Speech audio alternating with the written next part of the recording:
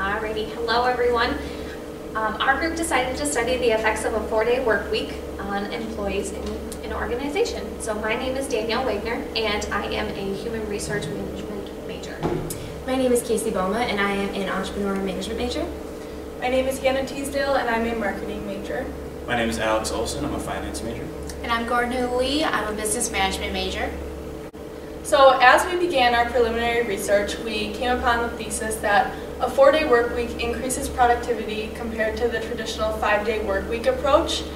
We kind of thought this was the responses we would expect through our research because of the idea that if you're working four days a week, you're going to have a lot more time to just focus on your work and productivity will increase because your work-life balance should begin to level out a little bit more than the traditional five-day work week. However, we'll explain today through our research that that really was not the case.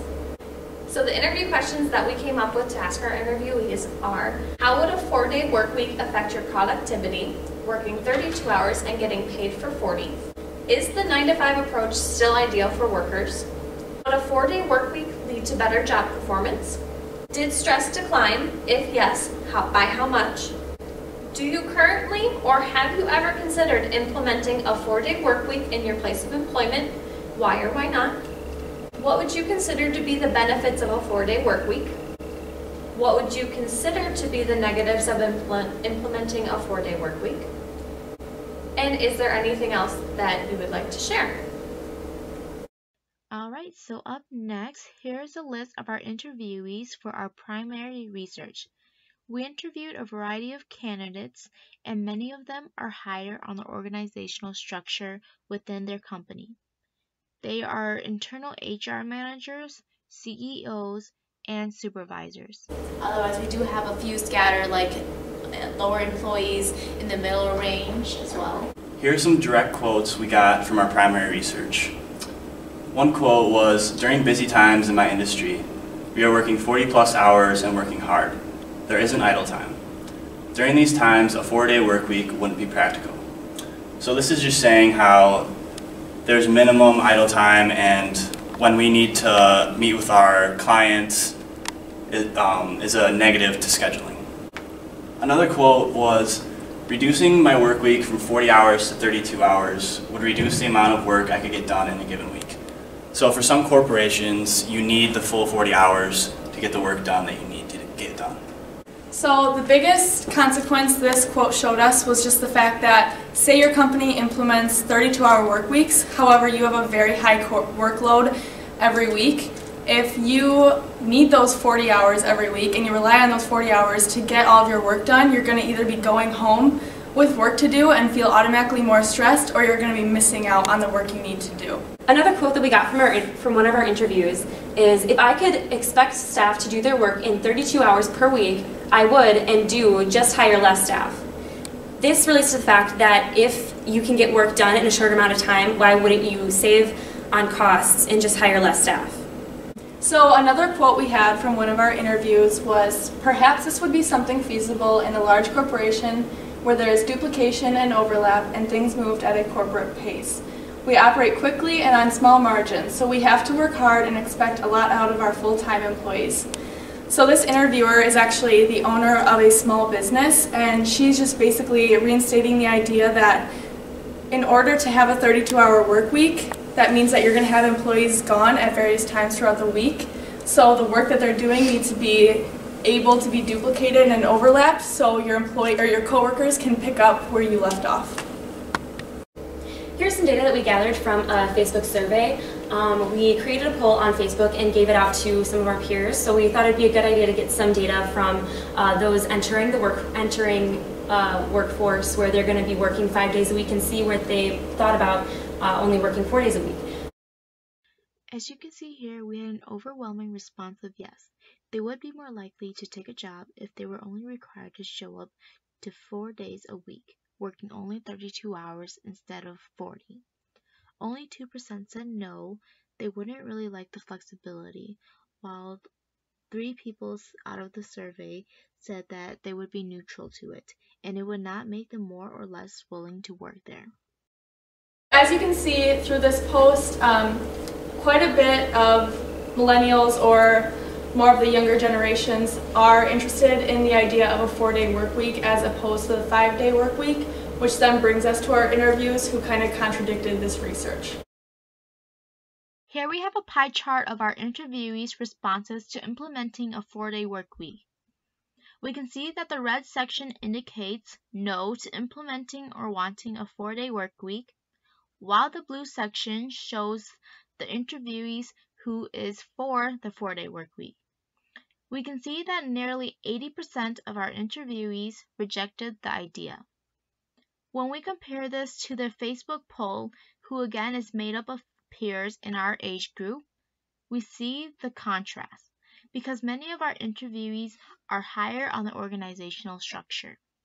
The majority of them said no because they're, again, internal and higher CEO, HR management. Um, that way it doesn't, it's not feasible for their business and therefore they reject the idea.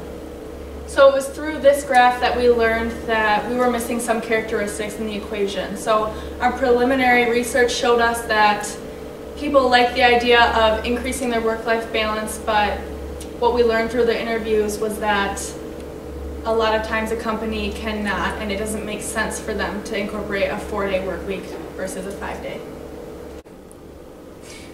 This is a quote from our one of our secondary sources from CNN. This actually relates back to one of the quotes that Alex mentioned earlier.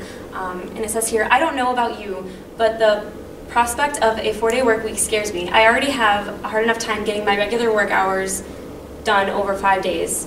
Our next quote was from Forbes, and it says, a four-day or compressed work week is offered as an option to at least some employees at 43% of companies, but only 10% of those companies make it available to all or most of their employees. This just basically says that a lot of employees like the idea of it, but it's not really feasible for these companies. Like referring back to our Facebook poll, how new entries into the uh, workforce are very interested in this kind of a work week, but for most companies, it's not going to work out very well for them. What are your initial thoughts to a four-day work week? It's probably similar to this photo here. Eight more hours to relax, eight more hours of vacation, in other words, eight more hours of freedom. But through our research, we found that four-day work week doesn't make an employee more productive. Rather, the stress of the workload tends to build because the 40 hours that you used to have are reduced to 32 hours. Therefore, it's harder to complete or reach a target that you normally take the 40 hours to do. Although with a four day work week, you gain an extra eight hours of personal life, but when your boss asks you, Are you stressed from the workload or have you met your goal? Don't be like, No. No?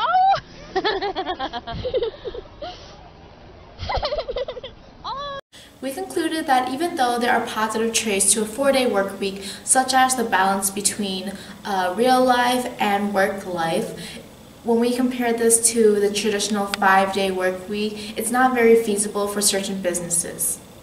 Questions that we have to consider are, but not limited to, the following. How, like how big the company is, how many employees do they have, the hours of operation, like for example, do they open 24-7, or what the company does. Overall, we reject our initial hypothesis of does a four-day work week increase productivity compared to the traditional five-day work week approach. Before we conclude, we want to share the four main takeaways you should consider when looking into a four-day work week. The first one is nearly 80% of our interviewees said that the productivity would decrease or if it changes only a little bit.